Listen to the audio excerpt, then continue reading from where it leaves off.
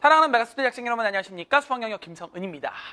자, 수학 B형 선택자였는데 어, A형으로 돌리는 학생들 있죠. 어, 그 학생들한테 꼭 좀 해주고 싶은 얘기가 있어서 선생님이 짧게 요 TC를 좀 찍도록 하겠는데 아, 이제 노량진에서도 제가 이제 현장에서도 보면 어, 특히 이제 뭐 3월 학평 끝나고 또 뭐 4월 학평 끝나고 어, 선생님 제가 B형으로 공부를 해봤는데 어, 좀 수학이 힘듭니다. 그래서 어, A형으로 돌리겠습니다. 또는 뭐 문과로 아예 바꾸겠습니다라는 학생들이 이제 나오고 있어.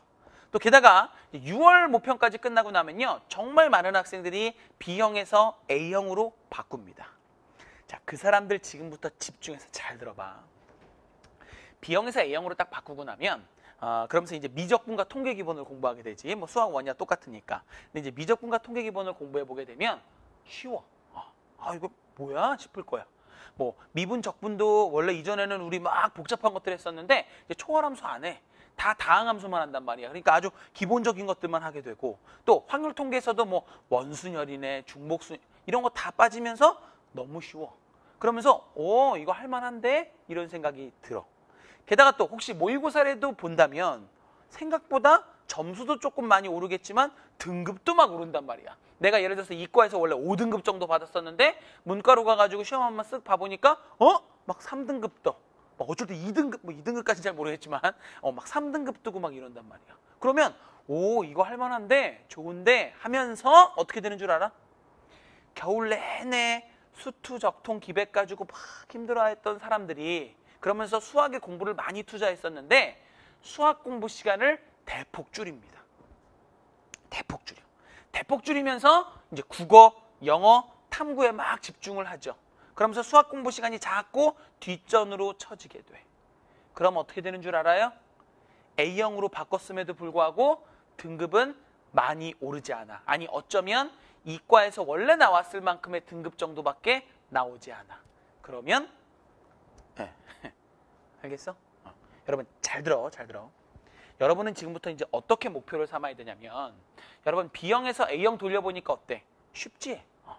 우리 미적분 너무 쉽지? 어, 쉽잖아. 또 수학원 그래 공통이라고 생각하는데 여러분 좀 착각이야. 수학원이 대신 어려워집니다. 알겠어? 킬러 문제도 수학원에서 나올 거야. 그래서 수학원을 사실 우리 이과에서 했을 때보다 훨씬 더 심화적으로 디테일 있게 좀 공부하셔야 되는 거거든. 그래서 여러분의 목표는 이제 어떻게 돼야 되는 거냐면 아 내가 A형으로 바꿨으니까 수학이 쉬워졌으니까 수학을 좀 등한시하는 게 아니라 오히려 B형에서 내가 수학 공부했던 것보다 더 많이 하란 말이야. 수학원 미통기를 더 많이 더 많이 더 열심히 더 깊이 있게 그래서 목표가 100점 알겠어? 여러분 할 수 있어 알겠어? 내가 원래 이과에서 4등급이었어요 문과 가가지고 1등급 받을 수 있다니까 충분히 받을 수 있다니까 해보니까 어때? 쉽잖아 좀 할만하잖아 그럼 할만하다고 그냥 조금 하면 그렇게 그렇게 끝나 그러면 안 되잖아 오히려 찬스로 생각하시고 아 나 A형으로 돌린 거 이왕 돌린 거 아예 1등급을 받아버리겠다 알겠어? 아예 1등급을 받아버렸다. 여러분이 B형이지만 A형으로 돌려서 1등급 나오면 얘기가 완전 달라지는 거야. 알았어? 어, 그래서 수학 A형 우리 1등급 아니 100점 을 목표로 공부해 보자고. 알았니? 그래서 우리 겨울에 이전에 처음에 수투 적통 기백 붙잡고 막 이과 공부하겠다고 끙끙거리면서 이렇게도 해보고 저렇게도 해보다가 기백 특히 공부해보다가 아 못하겠어 하고 A형으로 이제 돌렸다면 좋아. 돌렸다면 그 열심 그때 막 악착같이 수학 공부에 투자했던 시간들 있지. 그 이상을 수학원과 미통기에 투자하셔가지고 반드시 이번 2015 수능에서 A형 응시를 하시되 A형을 뭘로? 100점으로. 알았어? 어, 100점.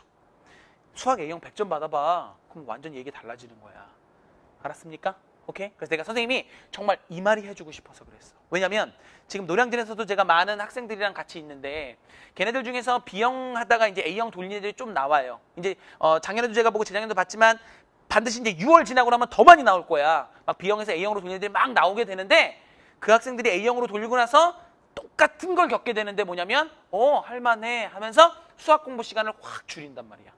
이게 독이야. 알았어? 이러면 망하는 거야. 알겠어? 그러니까 수학 공부 시간을 원래 내가 이과 B형에서 공부했던 시간 그 이상 오히려 그 이상 더 투자하셔가지고 아이의 100점을 맞아버리단 말이야. 알겠어요? 네, 우리 이렇게 공부하도록 합시다. 알았죠? 그래서 다시 마음 잡으시고 수학 절대로 뒷전으로 미루시지 마시고 제일 먼저 수학하셔서 수학 반드시 100점 받자. 이게 우리의 목표. 됐나요? 네. 열심히 공부해서 우리 반드시 2015 수능에서 내가 수학 100점 받아가지고 내가 대학을 잘 갔다라고 고백하게 되는 여러분 되시기 바랍니다. 알겠죠? 네. 감사합니다.